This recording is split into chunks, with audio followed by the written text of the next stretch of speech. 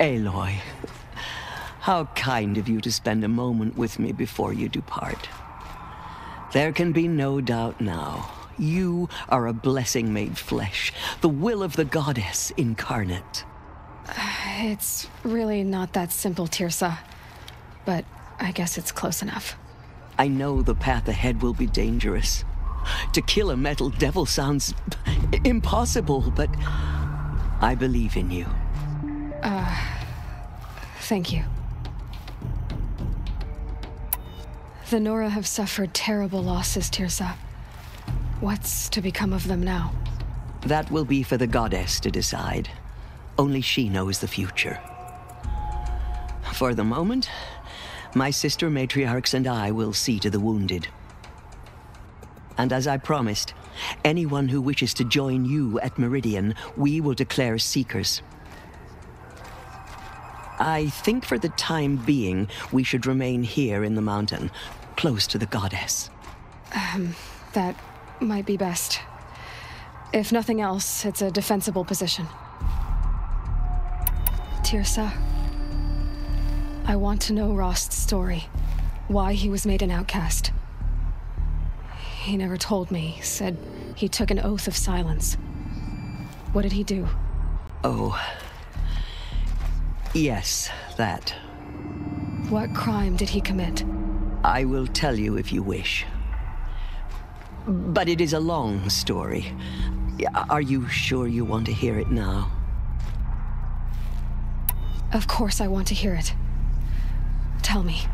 Rost never committed any crime. He was an outcast by choice. What? What do you mean? Many years ago, before the derangement, before the Red Raids, a band of murderous outlanders, twelve in number, struck without warning. At Mother's Vigil, they took hostages, and then pressed on, headed for Devil's Thirst. Mother's Vigil? Where's that?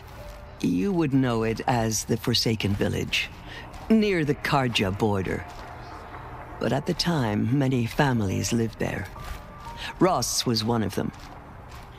His mate was killed fighting the Outlanders, and his daughter was among those taken hostage. His daughter?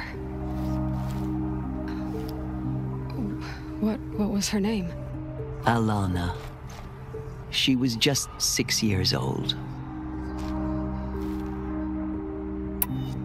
Nora Braves couldn't stop 12 Outlanders? Or rescue the hostages? It was quite impossible. We outnumbered them, but every time a Brave came within bowshot, the Outlanders killed a hostage. What did they come here to do? That was never discovered. We couldn't track closely enough to observe them. We know they camped beyond Devil's Thirst for two days.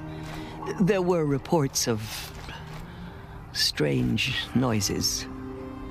And then, as suddenly as they came, the Outlanders made their way back to the border and disappeared. What happened to Rost's daughter? She was killed. Rost was one of the braves who tracked the Outlanders, keeping his distance. There were six hostages still alive when they reached the border, Alana among them.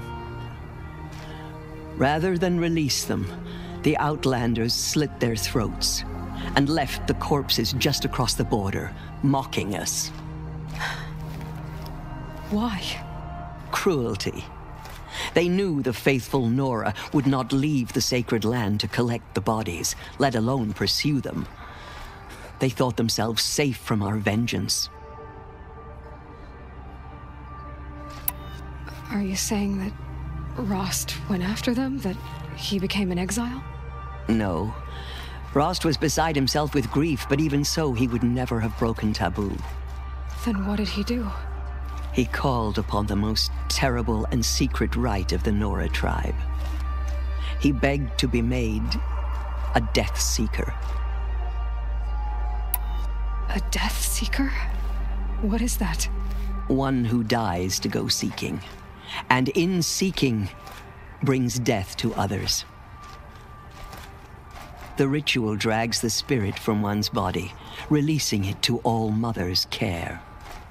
The heart beats, the mind thinks, but the spirit has moved on. I, I don't understand. Rost went after the Outlanders, but his spirit never left. It remained here with All Mother. He gathered the bodies of the slain and returned them. And then he set out in pursuit, not as an exile, but a weapon of vengeance. A barbed arrow shot from a bow, never to return.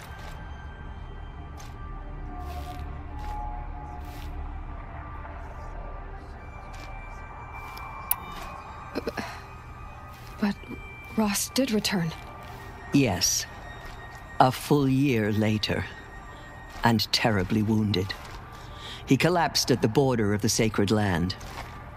A hunting party came upon him. He was delirious, in agony. By law, he should have died where he lay. But one of the hunters broke taboo, and reaching across the border, she dragged him to our side. Who was she? A brave who'd lost a mate and two sons to the very outlanders that Rost pursued. So, Rost never finished his mission. To the contrary, he killed all twelve. Tracked them to disparate places the world over, he said. Meridian, Ban-Ur, the Claim, Utaru land, further even, into the Forbidden West. The last he killed nearly got the best of him. Wounded, he stumbled and crawled back to us hoping to die as close to the sacred land as he could.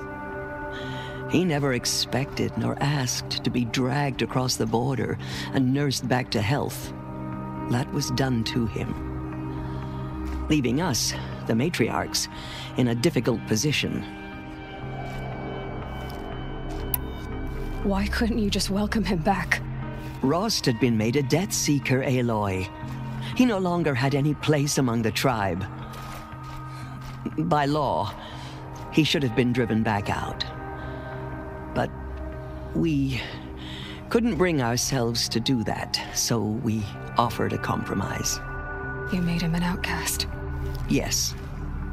We offered to do so on the condition he never speak to anyone of this exception. After all he did, all he suffered, to be declared an outcast was his reward. Rost was overjoyed. He never expected to live another day in the sacred land, let alone the embrace, so close to the goddess. He resolved to spend the rest of his days in solitude, and was happy to do so.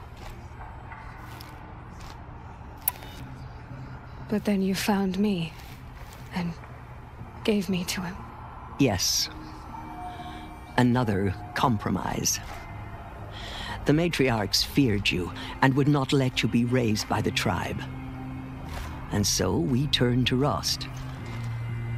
I knew that he would take care of you, bring you up, teach you to worship All Mother and respect the ways of the tribe. He certainly tried anyway. You took a man who'd lost his daughter and made him raise an infant girl. Doesn't that strike you as callous? I'm inclined to think the course of events has shown the wisdom of our choice. And I'm quite certain that from the moment he laid eyes on you, he saw you as a gift and never a burden. All right, Teersa, that's. That's quite a story. It's time for me to move on. I thank you for doing what you could to help me through the years, and for telling me Rost's story. I wish I could have done more. But I am just one woman. As am I. No need to sell ourselves short. Oh, thank you, Aloy. I will pray for you. Okay, I guess it can't hurt. With corruption beyond the sacred land? Can one woman do such a thing?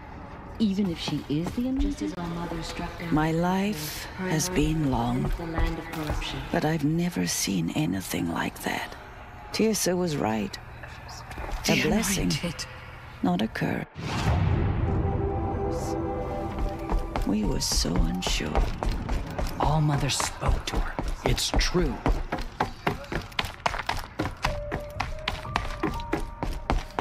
Goddess anointed her with holy mountain.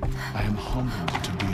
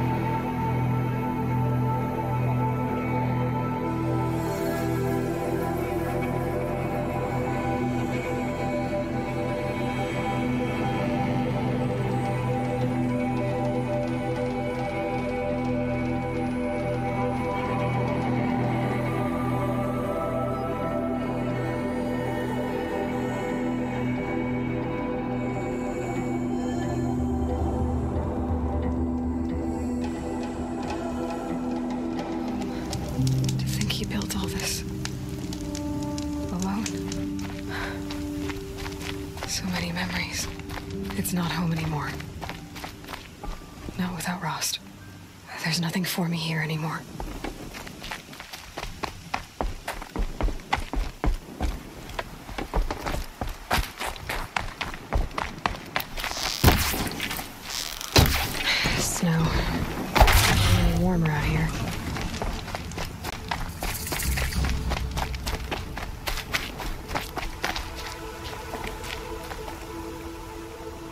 Hi, Rost.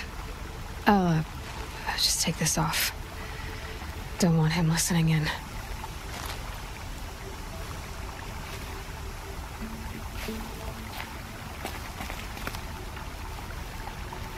Rost, I...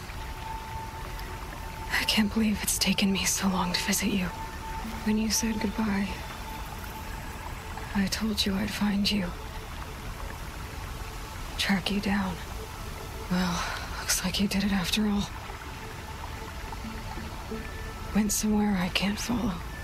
I should have known you'd be watching. At the proving. Looking out for me. There for me when no one else was. Like always. One last time. So I. I went inside the mountain. Do you remember the night before the proving? The final lesson you taught me? You said I needed to serve a purpose bigger than myself. Well, it couldn't get much bigger. It's the same purpose that drove Elisabet and Gaia when they were willing to die for. So, yeah, I'll do it give myself to that for Elisabet and Gaia and for you. Well, I've got a master override to recover, so I, I guess I'll be on my way. Until next time, Rost.